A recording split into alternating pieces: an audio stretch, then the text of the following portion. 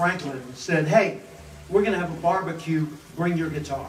And I said, wait a minute, this is California. Are you really going to have a barbecue? He said, well, yeah. I said, are you going to cook outdoors or are you cooking barbecue? He said, what's the difference?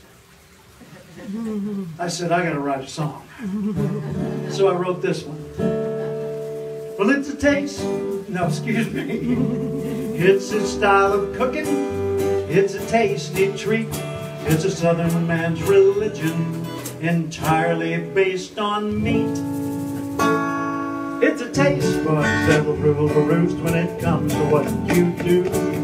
There ain't nothing that'll lure you on as strong as barbecue.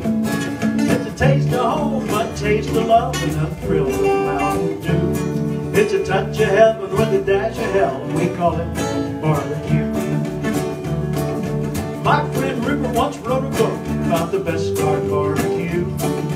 Searched the nation for all the best, came up with quite a few. There were sweet ones, dark ones, peppery hot, some that taste like stew. But the absolutely positive best was homemade barbecue. South Carolina's got its mustard sauce, Texas three-alarm chili. Louisiana's got its jambalaya, Tennessee has its whiskey. But I'd rather you in Arkansas, eat like a true hillbilly. We'll grease our chins with the best of sins. Barbecue just makes me frisky. Cause it's a taste of home, a taste of love, and a thrill of Mountain Dew. It's a touch of heaven with a dash of hell, and we call it barbecue. Cheesesteaks, hot dogs, hot wings, tacos, pizza and burgers are cool. But it's barbecue on ribs that says break out the bibs. Cause that's the only food that makes me drool. We'll throw down a quart of sweet tea and do some gospel singing. Then we'll wander on over to the dinner table see what folks are bringing.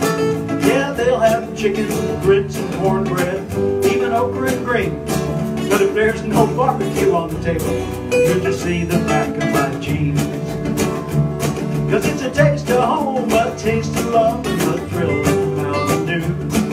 It's a touch of heaven with a dash of hell, we call it barbecue. I'll be at HB's Hickory Shack, and I'll grab an ice cold brew.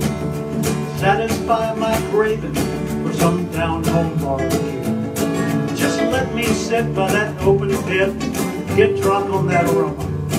Then I'll try the other types of barbecue, Maine to Oklahoma. Bubba, Sissy, Earl, and Paula Sue, Uncle Luther, and Aunt Lizzie, Ellie, and you, you're all my kin, and I won't soon forget it. Yeah, you're my family, and you deserve to know I love you true. Please don't ever come between me and barbecue. Cause it's a taste of home, a taste of love, and a thrill Dew. It's a touch of heaven with a dash of hell, and we call it barbecue. Now let's talk about homemade ice cream.